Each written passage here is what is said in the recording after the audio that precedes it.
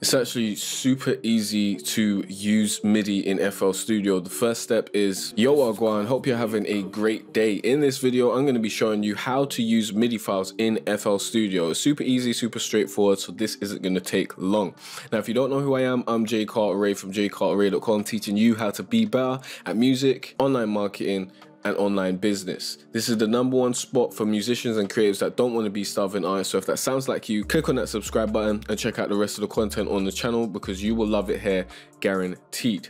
Now, let's get into this. But before we do that, question of the day is where do you buy your MIDI files or where do you get them from or what kind of MIDI files are you currently using? Let me know in the comment section down below. I think that'll be very, very interesting. But this is very, very simple, very, very straightforward. For this, we're going to use my MIDI file package, which I recently released. If you want to grab this, go to jaycartere.com forward slash MIDI packs. Okay.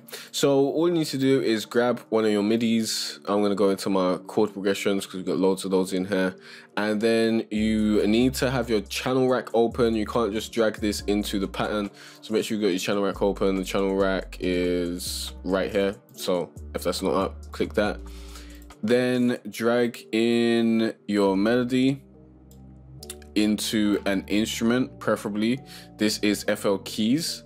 Now generally I would bring up a bare instrument but when I'm starting my beats I always start everything in FL keys. So this is what this sounds like and the pen.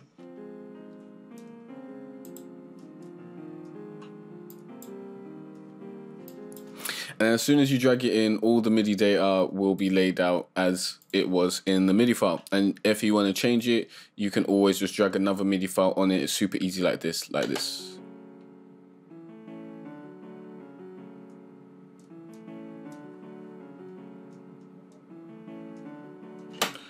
And we can drag MIDI files in here all day. But that's basically all you need to know. You can also, you know, copy and paste between your MIDI files. When you add a new instrument, you can just paste it somewhere else, okay? So that's how you use MIDI files in FL Studio. Very, very quick video, I told you.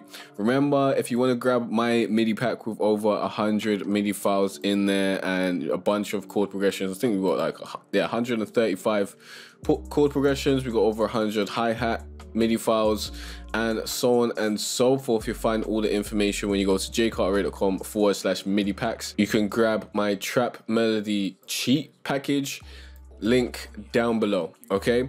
You can also find a bunch of other helpful links down below, so definitely go and check that out.